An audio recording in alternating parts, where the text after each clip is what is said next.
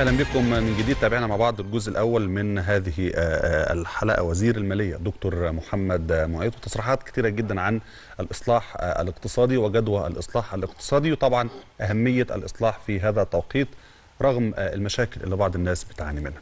طيب إلى الجزء الثاني من الحلقة دي معانا هذه المرة الشاعر الكبير عبد الستار سليم رائد فن الواو الشعري وابن صعيد مصر البار.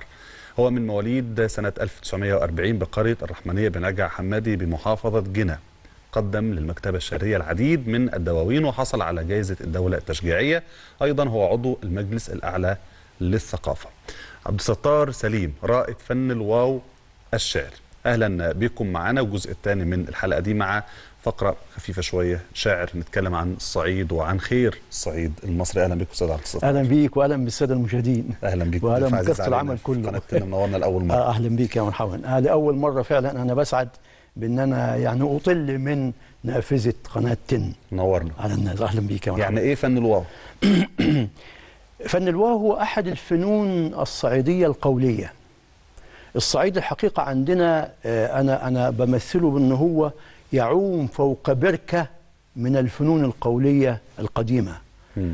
أشهر هذه الفنون فن الواو. لكن في هناك فن العدودة الصعيدية. العدودة. العدودة آه اللي هو رثاء الميت يعني. رثاء للميت. وده فن راج في صعيد مصر وعلى فكرة فن العدودة لا تستطيع أن تقوله إلا النسوة. يعني فن العديد عليه. آه آه يعد تعدد على الرجالة يعني. نعم. يعني إحنا نعرف نقول فن واو الرجالة يعني. لكن الستات يقولوا العديد بالضبط. وفي شيخة المعددات وكده يعني. في أيضا الموال الموال فن صعيدي آه، قديم وعريق وفي بيقولوا عليه حتى الموال الحارق اللي بيحرق يعني. يقول مثلا أنا بقول مثلا في أحد المواويل بخت الخسيس اتعدل لما الزمن غلاه. ورخص ابن الأصول وفي قدرته غلاه. فردت جلعي عشان أرحل خنتني الريح ودرست جرني طلعت ابنه بلا غلاه. هذا هو الموال الصعيدي. نعم. زي ما انت شايف سعادتك والسادة المشاهدين المفردات كلها صعيدية. يقول لك الخسيس وبخته اتعدل البخت هنيجي بتفصيل لكن آه، إحنا نعم. فن الواو فن نعم. العدودة. آه. اللي هو الرثاء عند عند النساء. النساء يعني والموال. آه، والموال. في حاجة تانية؟ آه لا قولية؟ هو هو فيه آه، في السودان جنوب قرب السودان. في فن النميم في فن المصدار في فن ال... لكن ده كلها مش مشهورة بشهرة فن الواو. كلها اسمها فنون قولية فنون قولية لأنها تقال. بالظبط يعني إيه وفي- بقى واو؟ يعني إيه واو؟ آه إحنا عندنا في صعيد مصر الف... ال- في فترة أيام ما كان المماليك والأتراك بيحكموا مصر. كان ما فيش بنية أساسية في الصعيد ولا مدارس ولا تعليم ولا زراعة. كانت الناس آه، يعني آه، تهاجر من الصعيد. آه، واحد مثلا شاب يصر خلقاته كده ويحطهم على كتفه ويقولوا له رايح فين؟ يقول لك مبحر. يعني إيه مبحر؟ يعني رايح مصر. عشان يلاقي شغل يعني. و و و وبعدين عايز يعبر عن آلامه وأحلامه بالفن. لأنه أنت عارف سعادتك والسادة المشاهدين يعلمون أنه الفن هو البوابة الملكية للتعبير عن أحاسيس الناس. بدليل أنه المسرح بنقول عليه أبو الفنون لأنه بنحط عليه حاجات كتير وتسقط على كل والتقاء مباشر بين ال- الجمهور بالظبط. والتقاء مباشر بينه وبينهم فكان يقف بين الناس ال- الراجل اللي في الصعيد ويقول وقال الشاعر هو عايز يقول شعر. فيقول وقال الشاعر ولا حد خالي من الهم حتى قلوع المراكب اوعى تقول للندل يا عم لو كان على السرج راكب. ويصبر شوية كده ولما الناس تستطعم الكلام يعني ويستأنف يقول وقال الشاعر ولا حد خالي من الهم حتى السعف في جريده. اوعى تقول للندل يا عم لو كان روحك في ايده. تشعر طبعا بالمرارة في هذه المربعات وإن هو كل ما يقول مربع وإحنا هنقول ليه سموه مربع كل ما يقول مربع يقول وقال الشاعر. فكلمة واو الواو كثرت كل ما يقول مربع يقول وقال الشاعر فكثرت واوات العطف وسمي لذلك بفن الواو لكن وجال الشاعر على نفسه على نفسه هو م... طب يصف ليه بيقولوا بالشاعر. الشاعر ليه بيقولوا قال الشاعر. ليه ما يقولوش أنا اللي قلت يعني إحنا الآن كشعراء لو حد أخذ كلامنا هنزعل. إنما هو الراجل بيتخلى عن كلامه لأنه هو بينتقد الحاكم المملوكي مم. فيخشى انه هو لو حد فهم يعني. آه بيقول إيه يمسكوا من كجفاه يقولوا تعالى أنت بتشتم مم. الحاكم فعلشان حتى لا يقع تحت طائلة القانون يقولوا قال الشاعر لو حد قال له أنت بتسيء إلى الحاكم يقول ده مش أنا اللي قلت ده. الشاعر اللي قال وكأن أصل الفن نشاط سياسي هو فن الواو ابتدع للنشاط السياسي كرد تعبير عن آلامه وأحلامه مم. وعلى فكرة الناس الذين قالوا هذا الفن كانوا أميين لا يقرؤون ولا يكتبون فتصور هذه الحاجات الجماليات والصور الشعرية و... طب جابوها منين؟ مم. أصلا فن الواو فن متأثر بالقصيدة العربية اللي جاءت مع الفتح الإسلامي. القصيدة العربية تعلم حضرتك ويعلم السادة المشاهدون أنها تتسم بسمتين أساسيتين اللي هو الوزن والقافية مم. هنتكلم طبعا عن آه. تفاصيل الفن. بالظبط. وهل ليه قواعد ولا مالوش؟ طبعا لكن لازم طبعا. نسمع حاجة الأول. آه ماشي.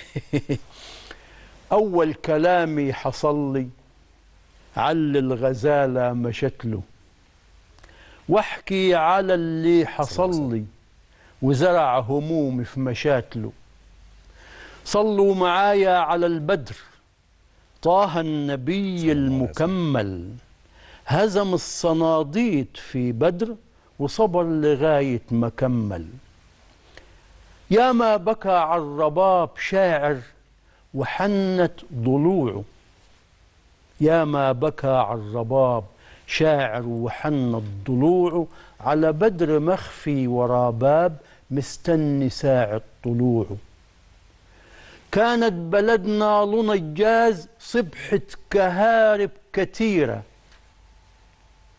كانت بلدنا لنجاز صبحة كهارب كتيرة بعد الربابة والأرجاز عشقت مدنة وشكيرة. لا تحسد اللي حداه مال. لا تحسد اللي حداه مال وجدت منه عليلة. ما يعدل البخت لو مال كافة كنوز القبيلة. من ناعم الصبر سفيت وفتلت منه حبالي. من ناعم الصبر سفيت وفتلت منه حبالي. وكبست جرحي ما خفيت ولا فارق الجرح بالي. جيت لك على قدامي ورمين خلك وما تتبعني. ما تقول لي صليت ورمين خلاك في ليلة تبيعني. يا بريق داير ببزبوز رشرش علينا ظلامه. الدنيا ديلها صبح بوز والسبع ضايع كلامه. عيني رأت سرب غزلان فيهم غزالة شريدة والقلب لما غزلان شاور وقال لي شريدة مشي البنية بخلخال تخطر كما فرع مايل. عشق الصبايا يا أبو الخال عامل في قلبي عمايل.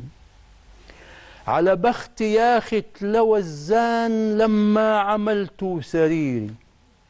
الزان عمر ما يتلوي لكن بخت. خشب إزاي خشب الزان. آه.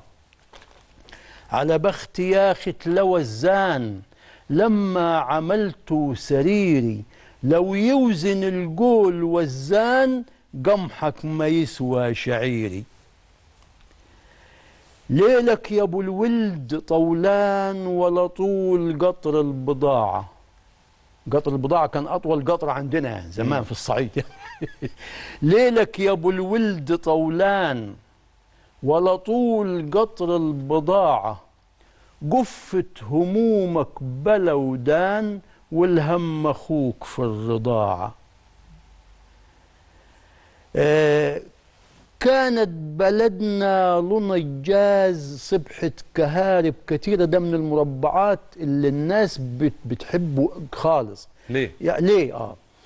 يقول لك إحنا يعني مع إني أنا بعتبر إنه ده نوع من التحضر إنه بلدنا كانت لمض جاز وأصبحت كهارب بعد السد العالي والبتاع دي حضارة مم. لكن هم عشاق القديم يعني يقول لك اللمبة العويل والفانوس يمكن حضرتك تذكر الفانوس اللي هو القنديل مم. اللي كانوا ي- ي- يجيبوا له. بنورة بنورة كده ويعبوا له جاز وفيه فتيلة وتنور وكانت ال- ال- ال- ال- ال- ال- الجزاز ده آخر الليل يتمني صمات. فكانوا بيسموه القنديل. مم. آه القنديل. فهم يحبوا الهدوء. مش انت عارف دلوقتي الناس ال- ال- الكبار لما يروحوا مطاعم كبيرة يتعشوا على ضوء الشموع. مم. طب ليه بيطفوا النور ويتعشوا على ضوء الشموع؟ اذا أجدادنا اللي في الصعيد عندهم حق لما يحب النور الهادي وكان يحب ضوء القمر على فكرة. يعني يطفي اللمبة بتاعته تمام. علشان يستمتع بضوء طيب القمر. هنرجع لفكرة ال- القواعد التي نعم. يبنى عليها فن الواو. أيوه. هكذا يكون السؤال باللغة نعم. العربية. آه، فن الواو هو أحد عائلة التربيع. إيه عائلة التربيع؟ إنك تقول مقطعات شعرية مكونة من أربع شطرات بالمعنى القديم. تعرف البيت الشعري مكون من شطرتين شعري من شطرين شعريين. اللي هو النص الأول والنص الثاني يعني آه، أقول مثلا آه، آه، آه، أي بيت شعري مكون من شطرتين. سلوا قلبي غداة سلا وتابا لعل على الجمال له عتابا فبيسموا الشطرة الأولى دي صدر البيت. والشطرة الثانية عجز البيت. فلما أقول بيتين شعريين يبقى فيهم كام شطرة؟ أربعة. فن الواو أو الفن القولي عموما.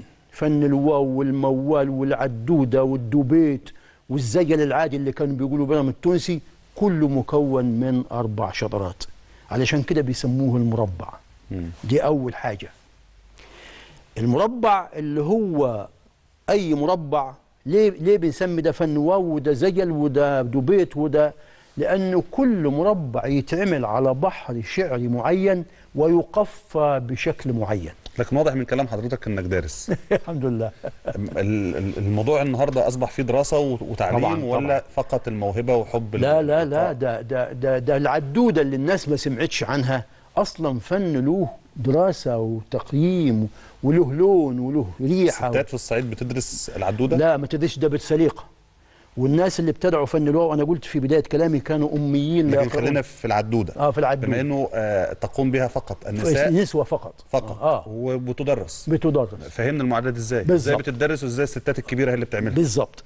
شيخة المعددات اللي هي الحافظة كل كل ألوان لأنه العدودة الميت ال- ال- إحنا لو طلبنا حاجة يعني عاوزين نفهم. قوي يعني هنسمع. هنسمع طيب، مريض اتفضل. هنسمع. آه يعني مثلا ال ال الولد الصغير له عدودة الراجل الكبير له عدودة الست له عدودة الراجل له عدودة الغريب اللي يموت غريب له عدودة اللي يموت في الحرب له عدودة. شيء ثري وشيء يعني بنت في الجامعة مثلا مم. آه، والدها متوفي وجات أو بنت زميلتها أبوها جاي يزورها في الجامعة. فالبنت تقول إيه؟ البنت اللي أبوها ميت. تقول لزميلتها ما تقعديش جاري. يلي بابوك ما تقعديش جاري تقولي يا بايا تزودي ناري. ما تقعديش جنبي يلي بابوك ما تقعديش جنبي تقولي يا بايا تقطعي قلبي. ما تقعديش يمي يلي بابوك ما تقعديش يمي تقولي يا بايا تزودي همي. هذا الكلام عندما يقال ملحن في الميتم أنا برغم سني الكبيرة دي لكن لا أمتلك دموعي من أدائهم الم... علشان كده بنسميه فن الحزن الباكي. إزاي إزاي ملحن في الميتم؟ آه في الميتم الست تغنيه غنى. آه. بتعدد يعني؟ تعدد آه تعدد آه. علشان كده اللحن عادة الموسيقى عادة بتضيف بعد ثالث للشعر. مم. علشان كده معظم الشعراء ما اشتهروش إلا لما غني لهم. يعني ما حدش كان يعرف أحمد شوقي. إلا بعد أم كلثوم غنت له. وعبد حدش- الوهاب آه، وعبد الوهاب. وما حدش كان يعرف نزار إلا لما عبد- تغنى كده يعني. هو كان ناس معروف لكن معروف لدى الخاص. الوقت يداهمنا بقوة. لا حول ولا قوة إلا مطمئن بالله. على مستقبل آه، نعم. آه، الفن في الصعيد وبالأحرى الشعر وكل الفنون القولية بصفة عامة في الصعيد. وباختصار. نعم. إحنا عندنا في الصعيد قلنا الفن الواو هو سيد الفنون القولية وهذا الفن هو رباعي ويتكون من أربع شطرات وله بحر شعري معين وله تقفية معينة. نعم. يعني مثلا أنا بقول مربع من كلماتي يقول إيه؟ باختصار. باختصار. أول كلامي حصل لي على الغزالة مشت له واحكي على اللي حصل لي وزرع همومي في مشتله ده على بحر شعري معين وهنا حصل لي وحصل لي كلمتان تنطقان بنفس الكيفية م. وتختلفان في المعنى. والغزالة مشت له ومشت له شكرا بالظبط شكرا جزيلا. طبعا أنا استمتعت جدا والله بس آه، هناك التزام بميعاد البرنامج. ربنا يبارك فيك. شكرا جزيلا الله الشاعر الكبير أستاذ. عبد الستار سليم. أهلا بيك. وسليم مش سليم. سليم. نورتنا يا أستاذ سليم. شكرا لكم شكرا ليك. لك بارك الله فيك. اذا كانت هذه الحلقة من جزئين. الجزء الأول مع آه، معالي وزير المالية دكتور محمد معيط ونقاش طويل زي ما قلنا عن الاصلاح الاقتصادي. الجزء الثاني مع شاعرنا الكبير الاستاذ عبد الستار سليم. تقبلوا تحيات فريق عمل هذه الحلقة وهذه تحياتي محمد الرميح ينقلها لكم من القاهرة. سلام من الله عليكم ورحمة وبركاته.